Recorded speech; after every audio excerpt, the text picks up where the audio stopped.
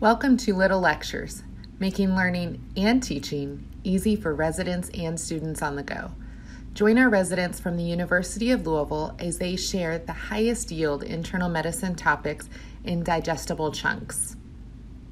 Hello, my name is Jordan Burlen. I am a third year resident at University of Louisville Hospital, and uh, I'm going to talk to you today about lower GI bleeds. This is uh, the second part of a two part series on uh, GI bleeds.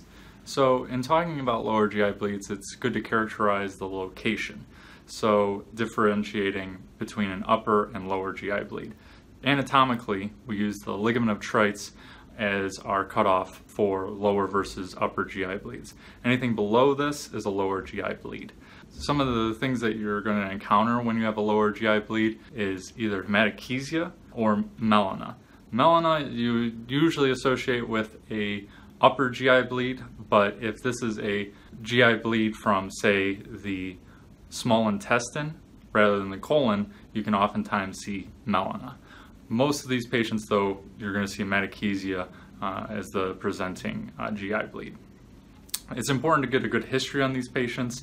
Uh, any history of GI bleeds in the past, lower GI bleeds, any history of upper GI bleeds in the past to kind of characterize and tell you the importance or where to start looking.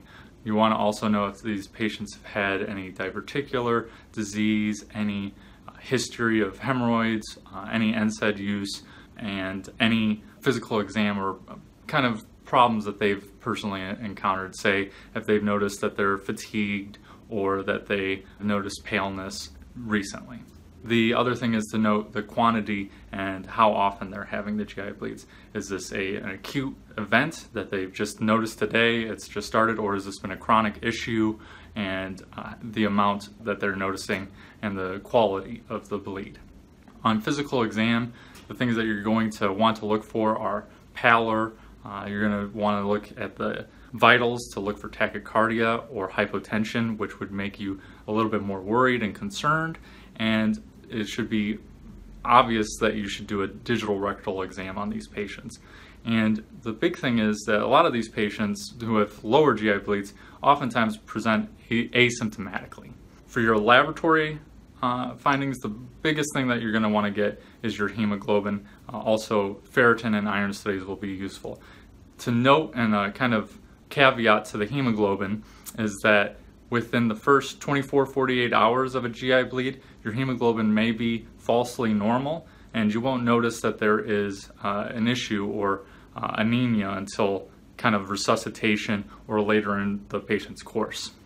So, the thing to think about when you're addressing this in patients is your different etiologies for a lower GI bleed. Commonly, you're going to see hemorrhoids, external versus internal.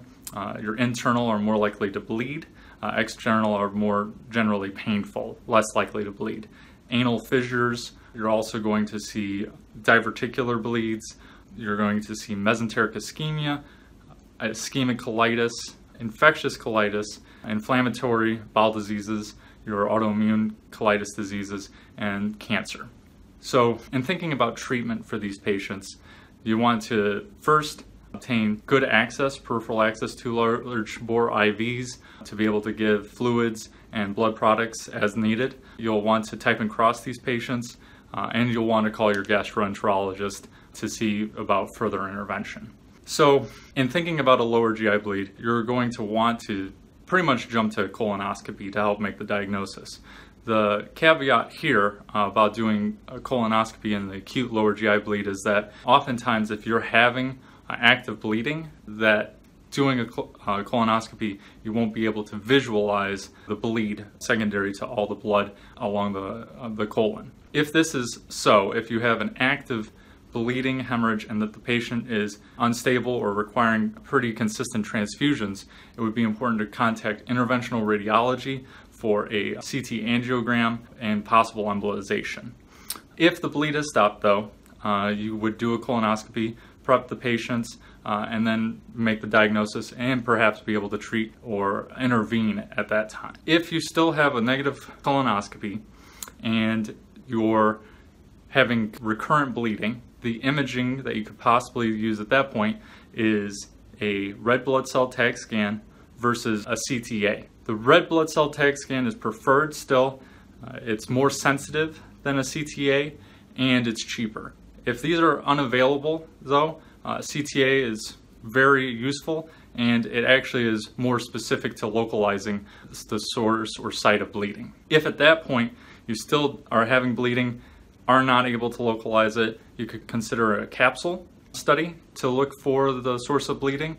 And if you're still having bleeding, there's no imaging that's been positive, you could talk about talking to surgeons for angiogram versus open laparotomy to try and make the diagnosis. Once you determine the site or source of bleeding, then it will be up to you to determine how you're going to treat this.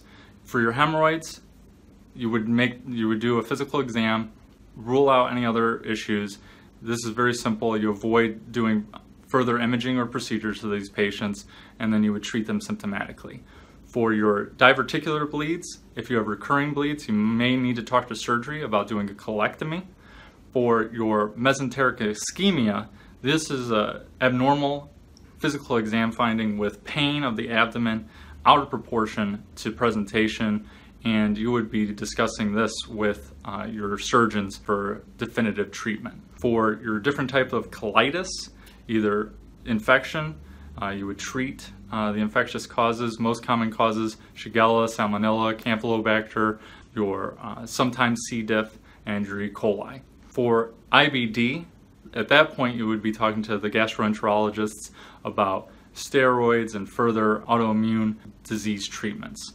And then for cancer treatments, you would be discussing again with your surgeons and oncologists for uh, definitive management.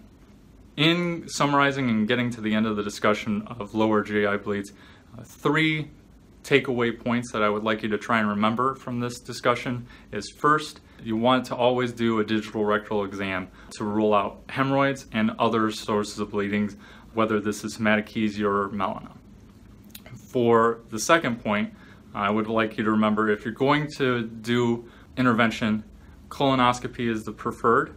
But if you have active ongoing bleeding, the colonoscopy will not be able to make the diagnosis, and you may need to talk to interventional radiology. And for the third thing to remember is that if you have an active hemorrhaging bleed, then contacting interventional radiology for intervention and embolization uh, is the preferred option. Thank you very much, and this is Lower GI Bleeds. Thanks for listening and learning with us. If you would like more information on this topic, please take a look at our full size Louisville lectures either on louisvillelectures.org, on our YouTube channel, or on our podcast.